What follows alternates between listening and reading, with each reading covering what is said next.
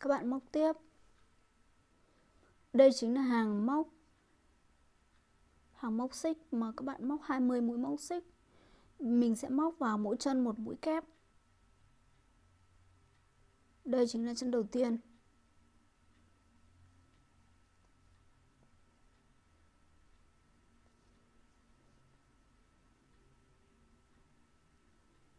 Các bạn chạy hết cho mình bằng mũi kép.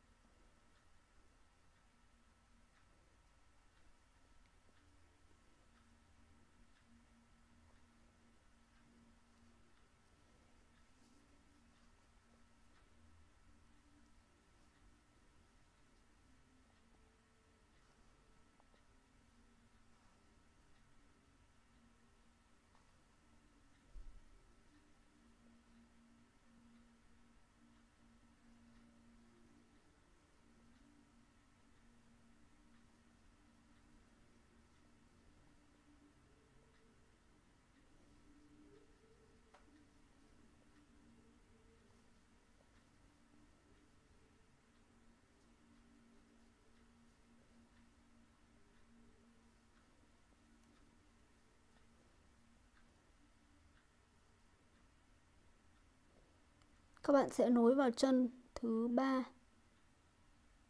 Chân của mũi móc xích thứ ba. Như vậy mình được một hàng đầu tiên.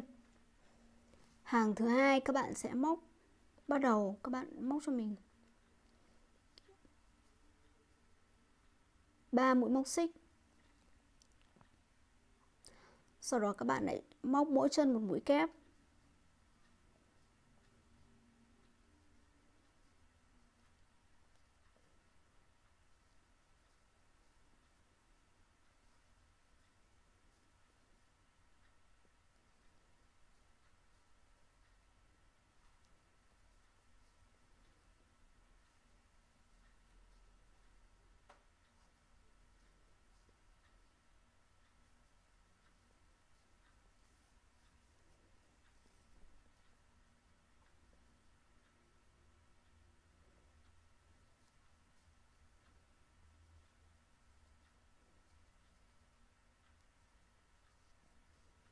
Sau hàng mũi kép này các bạn sẽ móc bằng hàng tạo ô.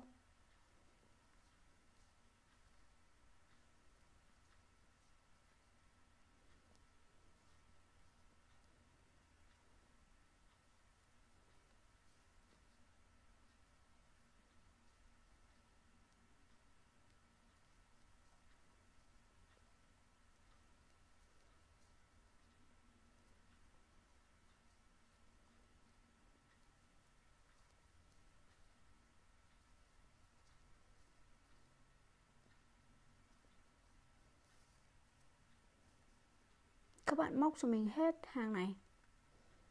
Sau đó, đến phần này, các bạn cũng sẽ nối vào chân của mũi móc xích thứ ba. Sau hàng mũi kép này thì các bạn sẽ móc cho mình bằng một hàng mũi tạo ô. Hàng mũi tạo ô thì các bạn sẽ bắt đầu bằng 4 mũi móc xích. Sau đó, các bạn chừa qua một chân và mình móc vào chân thứ hai. Hàng tiếp theo sẽ móc giống như hàng thứ ba này các bạn móc đi sau mình gặp lại các bạn.